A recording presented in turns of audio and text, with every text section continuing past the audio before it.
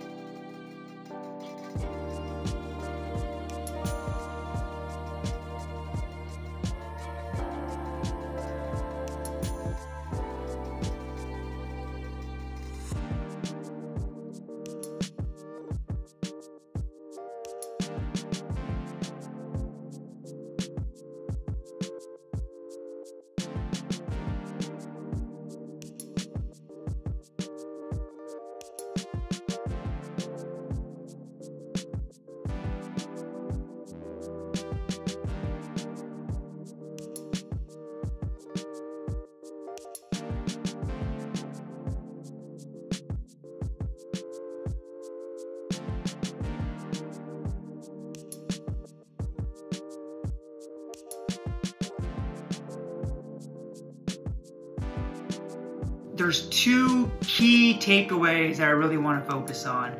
First is the fact that they found that kinesiophobia and confidence were associated with return to play.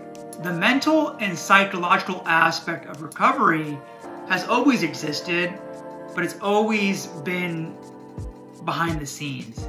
However, recently with more research and also the fact that you now have athletes, high level athletes, like for example, Arsenal's Hector Bellerin and also Oklahoma City Thunder's Andre Roberson, who both have talked openly about some of the mental challenges and setbacks and how they overcame them. Them talking about that has helped shed some more light on these psychological aspects, specifically kinesiophobia, which is fear of movement or fear of re-injury. So that's key takeaway one.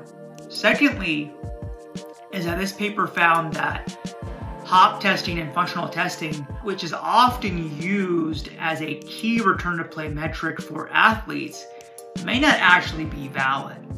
So that's a key thing to understand for clinicians, but that also needs to be examined further and looking at are there certain hop tests and functional tests that are reliable whereas some are not.